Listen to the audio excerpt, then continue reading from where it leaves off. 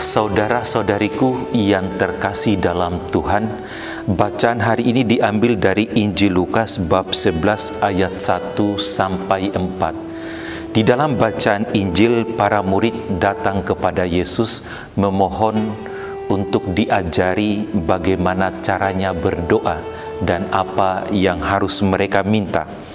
Dan Yesus mengajari mereka doa Bapa kami Yesus mengatakan, "Bila kalian berdoa, katakanlah: Bapa, dikuduskanlah namamu, datanglah kerajaanmu, berilah kami setiap hari makanan yang secukupnya." dan ampunilah dosa kami sebab kami pun mengampuni yang bersalah kepada kami dan janganlah membawa kami ke dalam pencobaan.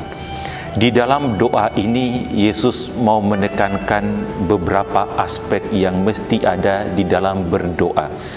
Yang pertama adalah aspek relasi dengan Allah itu mesti menjadi yang utama dan pertama.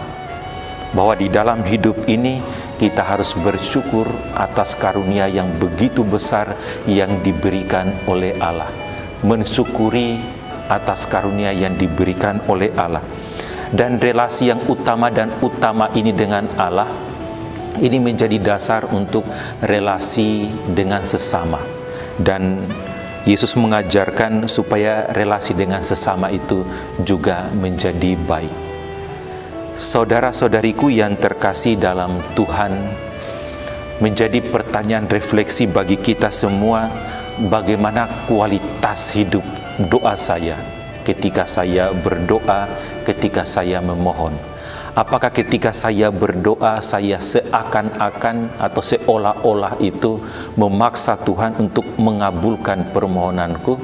Ataukah di dalam doa harian saya, saya menawarkan diri untuk terlibat di dalam karya-karya Tuhan?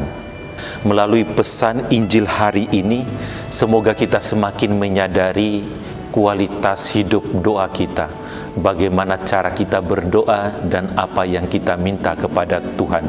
Maka mari kita semakin menghayati cara hidup doa kita sehingga melalui doa kita kita pun juga semakin menjadi berkat bagi diri sendiri, sesama dan terlebih semakin memuji dan memuliakan Allah.